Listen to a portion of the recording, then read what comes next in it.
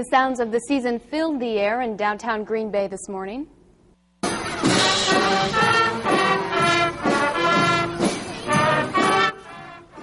Today was the annual holiday parade. In all, there were more than 80 entries, including uh, decorated floats, marching bands, and uh, uh, of course, Santa Claus was there. Fox 11 was also there to wish you happy holidays. Uh, I was there along with Tom Milburn, Michelle Melby, Rachel Monick, and Drew Smith.